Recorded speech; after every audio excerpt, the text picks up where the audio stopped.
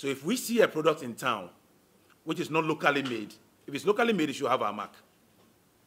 If it's not locally made, it should have been imported. If it's imported legally, we should have seen it. So if you haven't seen it, then it did not come in legally.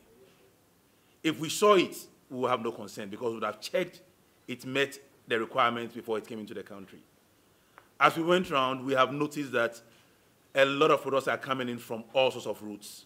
The Eastern Corridor in particular is a very busy place, and we are actually stepping up our services there. So now we know a lot comes in through there, some disguise, some actually try to dump things through, through the beaches. So with these activities that we are doing, we have been working very closely with the CID. Indeed, going around, we went around with them to be sure that it's not um, just a GSA activity. It's being run with the national security agencies. So the origin, it's very difficult to say one, one origin. We believe there are some which could have come in disguised through our official point of entry. That we are also working with customs closely to make sure that is stopped. But we know a significant number coming through the land routes, usually the eastern corridors, some also from the northern corridors. Now, when we take them, we test them. Mean, what we are trying to do as GSA is to be sure that even if you bring it illegally, you cannot sell it. Why? As explained, we should have cleared it at the port. So if I see you selling something and we ask you, okay, where did it come in from? And you say, oh, through the port. Show me the documents. If there are no documents, you bought it from Mr. B, we have to trace it. So now what we have done, we've been able to trace to quite a few of the, a lot of the products where the main suppliers are from. And as we speak, you would appreciate that we can't tell you everything about that because our job is not just to say you've picked it and we are picking it up and bringing it here.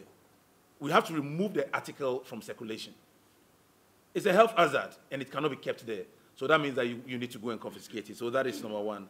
And that leads to the issue of the arrest. We don't arrest initially. You take the products, you test them. If they failed, then you apply the sanctions. Currently, if, you, if it's the labeling requirements, it's 500 penalty points which is about 6,000 cedis per infraction.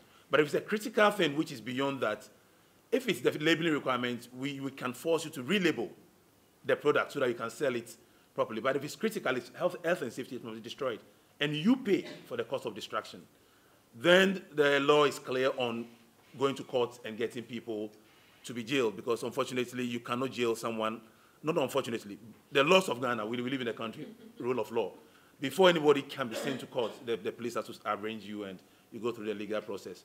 And we are, we, what we have said is that we would apply all the sanctions. There's nothing off the table. Because um, I think a lot of people feel like it's, it's just talk. And if people don't feel it, they wouldn't know that uh, we mean business.